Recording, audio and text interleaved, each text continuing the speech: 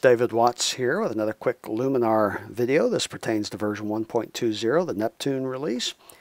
And this specifically deals with the question of how we improve portraits and specifically skin smoothing. I'm from the old uh, days of Aperture where we had a nice little brush to, uh, to bring some nice skin smoothing into our portraits.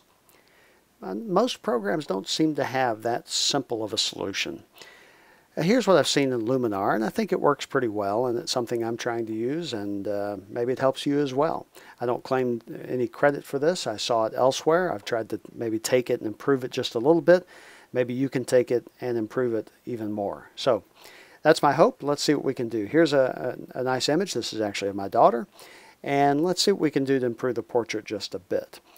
Uh, often I start with uh, the, the basic uh, accent uh, AI filter just to do a little bit of basic improvement. Let's take the filter off and back on and just subtle differences. That's all we're looking for. This image I don't think needs a huge amount of work. We might uh, bring the highlights back just a little bit. This is the advanced contrast tool. Maybe structure we bring it down some and this softens the image, which is in the direction we want to go anyway. And you know what? That may be it for now. Actually, let's add one filter I don't have, and that's uh, exposure, because we might need to play with exposure just a little bit. We'll see. Um, I'm going to tweak it just a little bit down. That just feels a little more realistic to me. Okay. Now all this has been taking place in layer 0. In fact, let's just call this original plus adjustments. Let's add a new layer. It's the plus symbol up here. And it'll be a new adjustment layer. In this adjustment layer, I really want three things. I want soft focus, soft glow, and let's try the Orton effect. All of these will, will soften an image. Now, I don't know if this is exactly the best way to approach it, but maybe it works for you. Here's something I've tried and something I've noticed. You see the word amount here.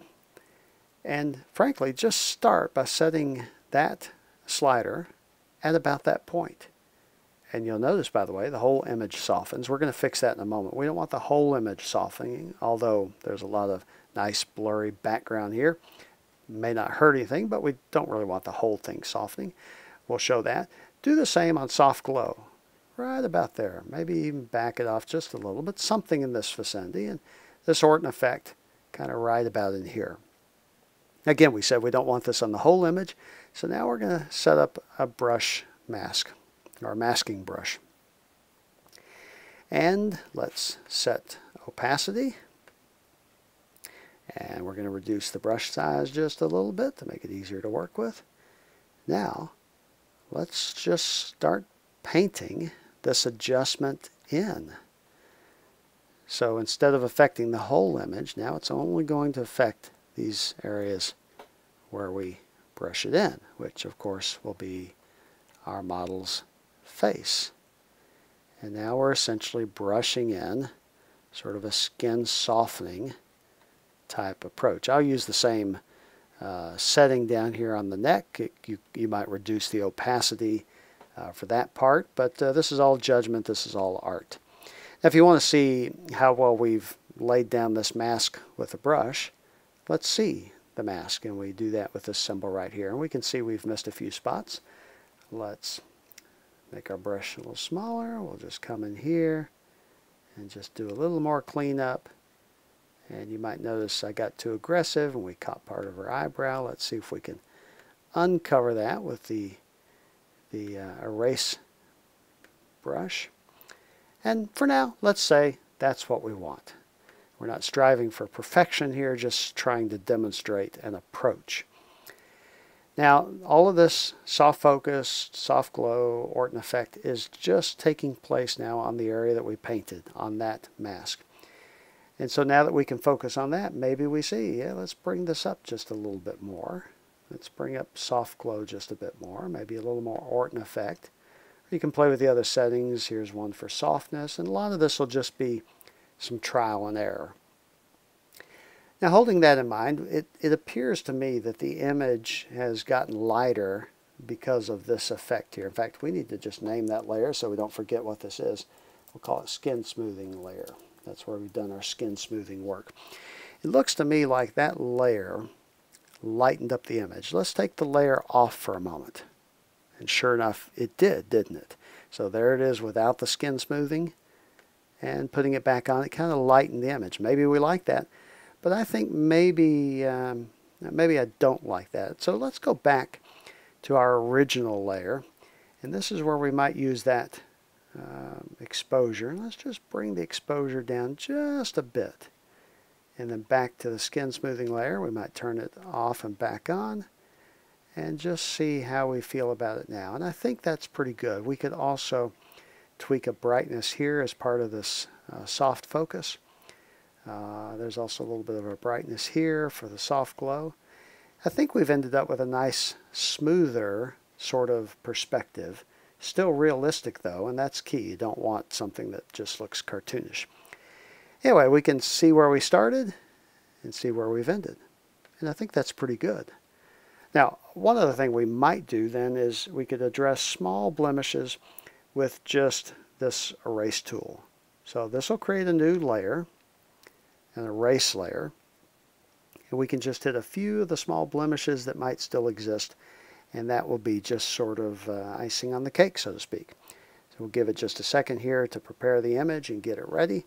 And what we'll do is with a small brush size, we could probably go even a bit smaller. And I'm using the bracket keys close to the, the return key uh, to uh, change that brush size.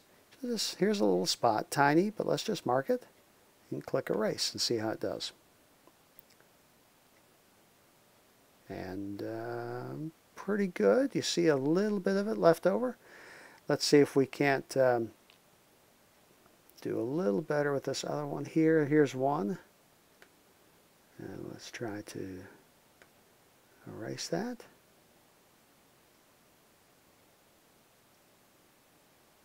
And actually not bad.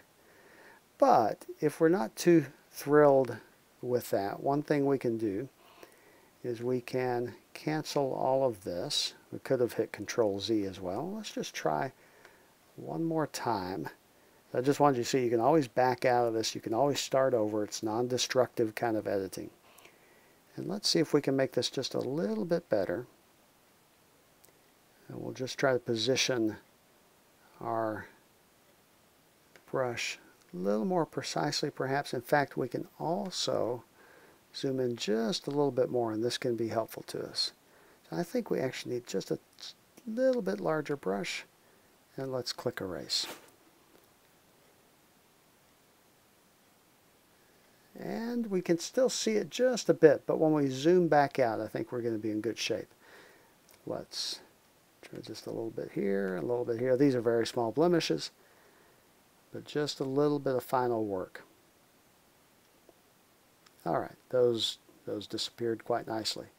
So we click apply, and it'll save all that and bring us back to the main uh, screen, and we'll see our layers. And that really Let's set our, our view back to 100%. And that really, I think, gives us a nice portrait with soft skin. Let's again see where we started. Here's the starting point. Here's where we ended. I think it's definitely an improvement. Anyway, the key is the technique. So you take that, make it better, make an improvement, and uh, maybe you'll share it with others as well. Hope that helps just a bit. Have a great day.